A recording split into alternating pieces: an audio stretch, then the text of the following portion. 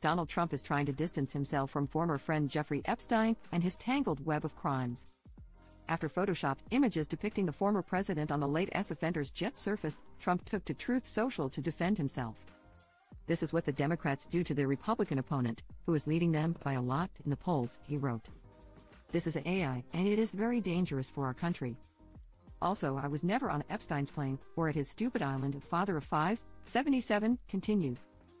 Strong laws ought to be developed against AI. It will be a big and very dangerous problem in the future. Though no real photos of Trump on Epstein's plane or his island have been released, the latter's pilot claimed the businessman had flown on the aircraft before.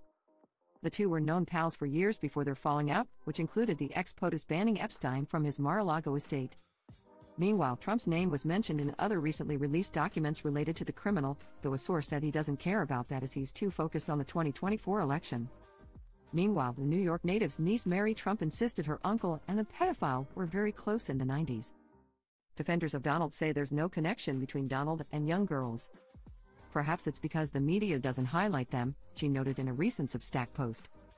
In addition, the deceased financier's brother Mark Epstein shared that his sibling had a ton of dirt on Donald. If I said what I know about both candidates, they'd have to cancel the election. That's what Jeffrey told me in 2016, he spilled to a news outlet, referring to when Hillary Clinton was running against Donald. While Hillary, 76, has no ties to Epstein, her husband, Bill Clinton, was known acquaintances with him.